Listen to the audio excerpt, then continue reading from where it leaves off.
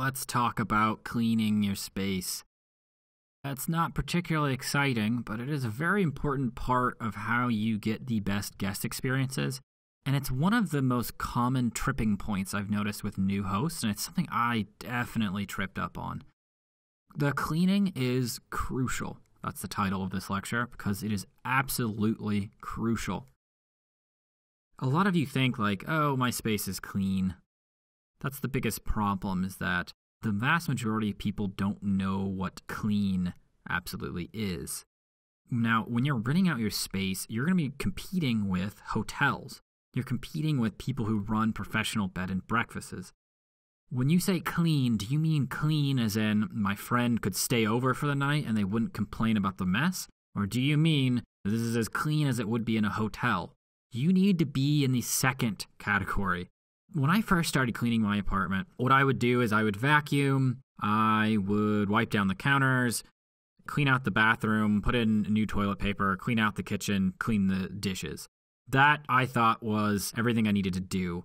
I could not have been more wrong. That is about 50% of what you should do. Now, what I recognize is that if people even get the slightest feeling of grunginess, that's going to often result in a low review for your cleanliness rating and possibly a bad review. What you want to do is you really, really want to go all out when you do your cleanings.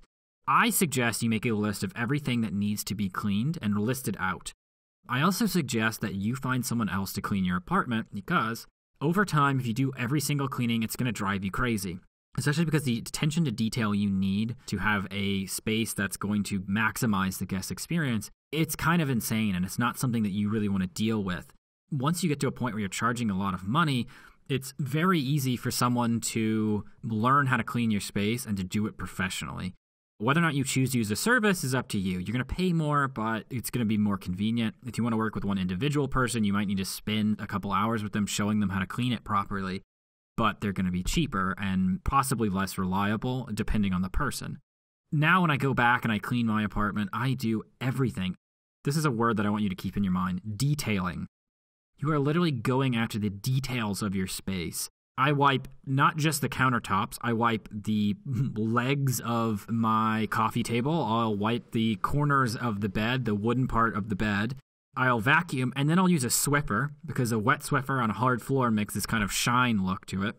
You don't just clean the dishes, you then clean the sink itself. That was something before I said, oh, no dishes. Well, somebody who's coming in there is going to want it to look like it's brand new, so clean the sink as well. Have you ever been to a real estate open house? You want to make it look as close to that as possible.